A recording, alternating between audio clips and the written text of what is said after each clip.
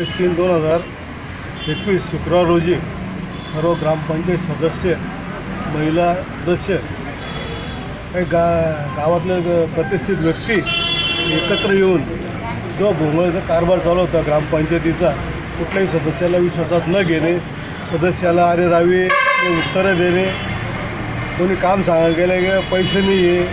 आणि असे बरेच प्रश्न होते.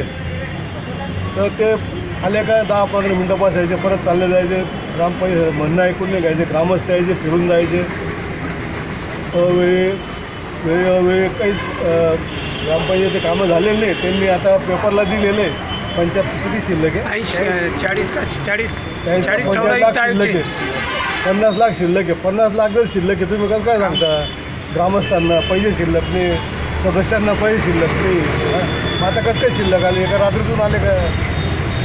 हा प्रश्न आहे ना हे सगळे बाबींना कंटाळून सर्व ग्रामस्थ आणि सर्व सदस्य सतरापैकी पंधरा सदस्य आज अविश्वासाच्या बाजूने होते. पॅनल पॅनलमधले. आणि आमचे बाराच लोक होते. त्यांना त्यांनी त्यांना जे सहकार्य केले होते तीन ग्रामपंचायत सदस्यांनी ते सुद्धा आमच्याबरोबर प्रस्तावाच्या बाजूने आलेले आहेत. म्हणजे त्यांची काम करण्याची पद्धत ते सगळे कंटाळलेले होते.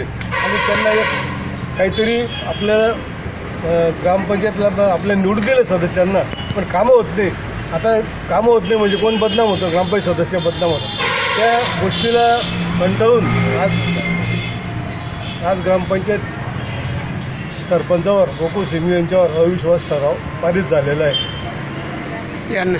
तर आपले धुळे ग्रामपंचायत तहसीलदार सौ सैंदाने मॅडम यांनी आज आपले निवडणूक अधिकारी म्हणून काम पाहिले. पाच दोन हजार एकवीस रोजी सर्व ग्रामपंचायत मेंबरांनी अविश्वास ठराव हा तहसीलदार साहेबांकडे प्रा दाखल केला होता. तर त्याचे आज तीन सहा दोन हजार एकवीस रोजी मीटिंग होऊन पंधरा लोकांनी अविश्वास ठरावाच्या बाजूने मतदान केलेले आहे. माननीय गोकुळ चंदनमल सिंघवी हे वारंवार गावात भानगडी लावायचे कामं करायचे. तसेच ग्रामपंचायत सदस्यांचं कोणतंही म्हणणं ऐकून न घ्यायचे.